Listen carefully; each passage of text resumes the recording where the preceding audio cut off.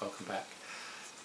I want to talk about mothers and their role, their specific role in clearing up the world by clearing up the dark traits that they have perceived in previous generations.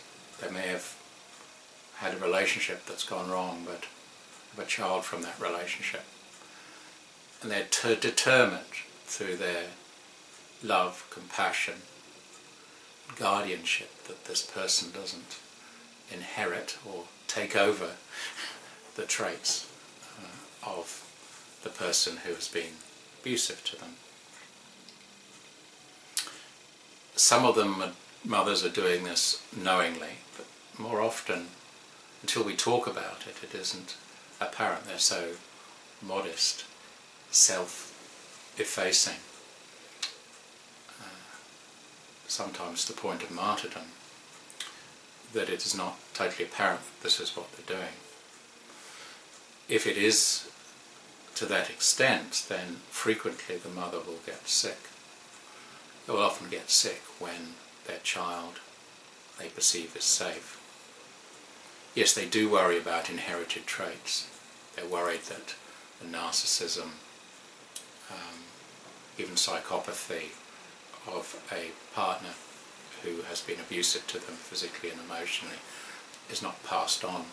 And if it was, they're doing everything they can to create an environment where that, that, that doesn't continue.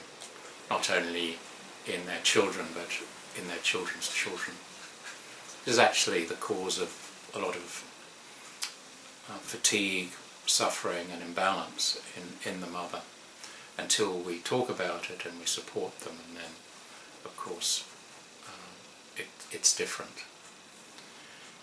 So the mothers intuitively know and through being smart and reading and being clever know that for many thousands of years we've had a society that's somewhat run by by men which and have encouraged a pyramid of, of power of which there's darkness at the top and their energy knows that this is wrong uh, and they are striving to change this.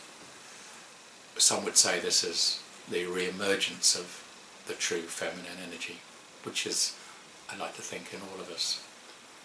So let's support them um, and please comment on this, any feedback you can get on this, most welcome by me um, and for all of us so that we can develop this theme uh, as we need to support the mothers and the grandmothers and the granddads and the dads uh, who are all on this journey. Um, thank you. Bye.